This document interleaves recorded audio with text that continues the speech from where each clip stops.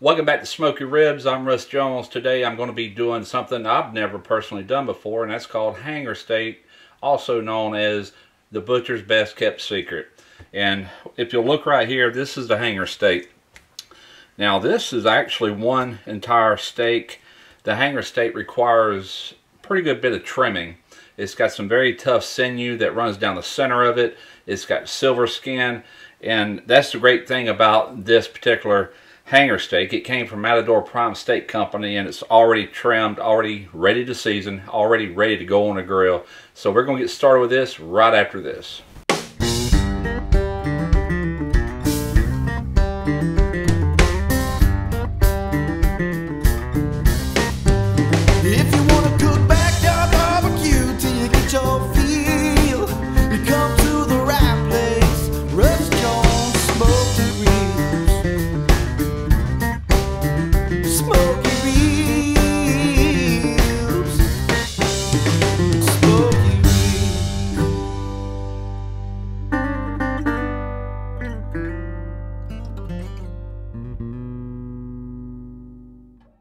Alright, so we're going to keep it very simple, just like I do any steak. We're going to use salt for one. I'm using Jacobsen sea salt. Fresh cracked black pepper.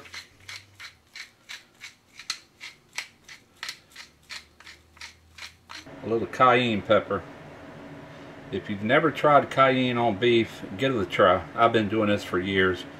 It doesn't give it any heat if that's what you're worried about but it does add a really nice flavor to it going to flip these over repeat the process on the back side more salt more fresh cracked black pepper and more cayenne I'm going to be doing these on a Weber kettle today. I haven't even began to start my charcoal. I want these to sit here with this dry rub on them for the time it takes me to light up charcoal and get my pit ready. I'll bring you back outside. These are better left undisturbed, so we're just to let it sit here and rock. Alright, this will probably be a good time to check, see how we look on these, and go ahead and add these as well.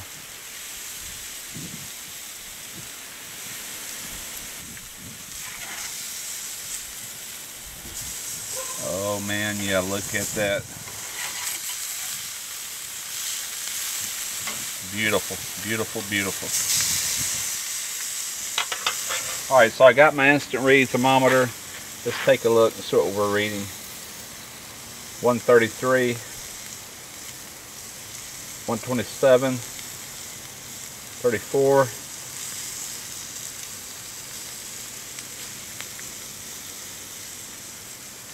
Now let's try our smaller pieces.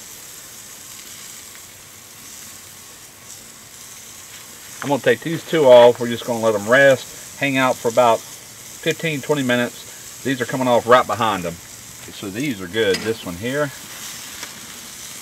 This one here. Let's get these off. We're going to set them to the side and let them rest. These are going to be right behind them. Been resting around 15 minutes, getting ready to cut into this. I'm going to cut into the biggest one. Then we're going to cut into the smallest, see how we did. I pulled it off nominal 130 degrees. Each one was reading a little different in different areas, of course. That's completely normal. But uh, after resting for a few minutes, they probably might have hit about 140. I didn't wrap them in foil, so maybe they didn't. At any rate, I'm looking for a medium, medium rare. All right, I'm gonna look first and see how this grain is running. You can see it very easily here. So what I'm seeing is we need to slice this this direction here we're definitely a little medium well towards the end, which that's always the case too, whether you do tri-tip or anything that changes shapes and sizes throughout it. Not a real even cut. Now I'm starting to get a little bit more on the medium as we're going deeper in. Oh man, yeah. I'm salivating, y'all. Pattern's changing a little bit on this as far as the grain's going, so I'm having a make an adjustment. It's important that you look at the grain on any meat. You always want to go across it. If it's running this way, you want to go that way. That's going to ensure you the most tenderest cut. And another thing about meat, once you cut it takes it a moment, but it begins to oxidize, and that's when you really start seeing that pinkish color come through to give you a better idea just how you did. And as you can see, that's a perfect medium, medium rare.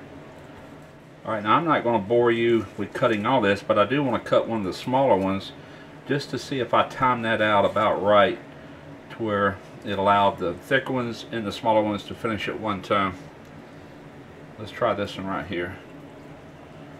All right, let's uh, let's try it right here. Let me, there again, let's look for a grain if I can see it.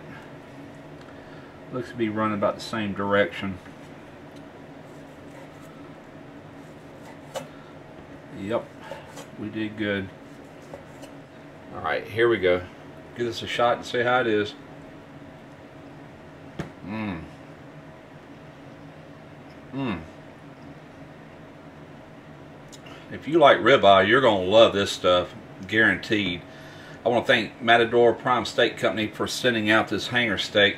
What's so great about companies like what Matt has over there at Matador Prime Steak is that I and you probably can't find this. Only select cities, you know, people with HEBs and, and big chains like that can find cuts like this. The rest of the United States is just out of luck. Unless you go online with people like Matador Prime Steak and it's available anytime, they'll send it right to your door. Hope you enjoyed the video. Fantastic steak. Till next time, smoke your ribs.